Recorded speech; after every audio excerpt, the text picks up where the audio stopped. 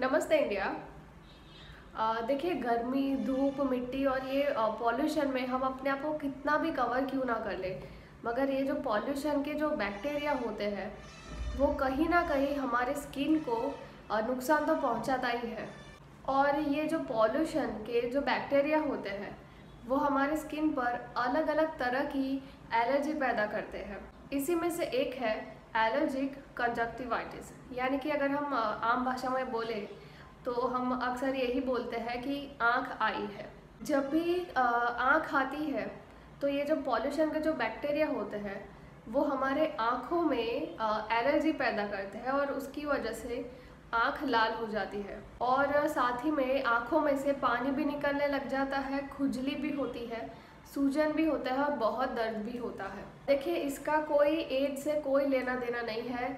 ये जो कंजक्टिवाइटिस है, वो वो किसी भी उम्र के व्यक्ति को हो सकती है। हालाँकि ये फैलता तो नहीं है, मगर अक्सर ये देखा गया है कि जिसको भी ये कंजक्टिवाइटिस होता है, यानी कि जिसकी आँख आती है, उसका जो एलर्जी होती है, वो आमतौर पर दोनों आँखों में ही हो जाती है उनको। देखिए, इससे बचा तो नहीं जा सकता है। मगर इससे हम जल्द से जल्द छुटकारा पाने के लिए कुछ घरेलू नुस्खों का इस्तेमाल हम कर सकते हैं। सबसे पहले तो आता है ठंडी सिकाई। देखिए, ठंडी सिकाई करने से आपको ना एक तो सूजन में मदद मिलेगी और खुजली भी आपको कम होती है। आपको ऐसा करना है कि एक मलमल का कपड़ा लेकर उसमें ये कपड़े को आपको ठंडे पानी में डुबाना है।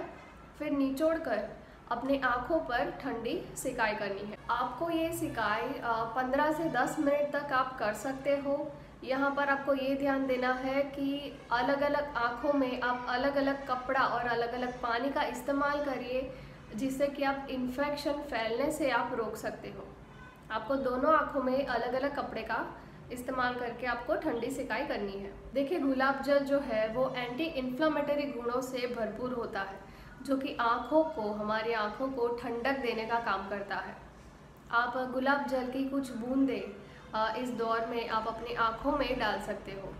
गुलाब जल ये काम करता है कि जो आपके आँखों में जो कंजक्टिवाइटिस के बैक्टीरिया होते हैं, उसको आँखों से दूर निकाल फेंकता है। तो आप इस दौरान जब भी आपकी आँख आए तो आप गुलाब जल भी अपने आँखों में डाल डाल सकते हो। देखिए, एलोवेरा जेल है, उसके बहुत सारे फ़ायदे हैं।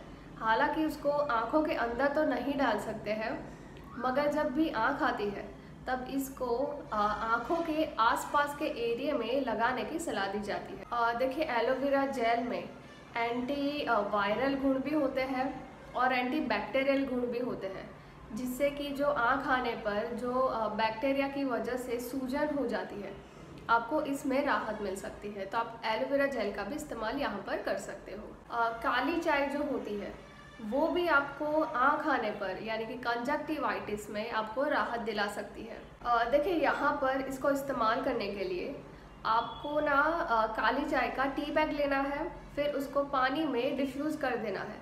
फिर आपको पाँच से दस मिनट तक इसको अपनी आँखों पर लगाए रखना है। यहाँ पर आप ग्रीन टी बैग का भी इस्तेमाल कर सकते हो जिससे कि आँखों में राहत मिल सकती है।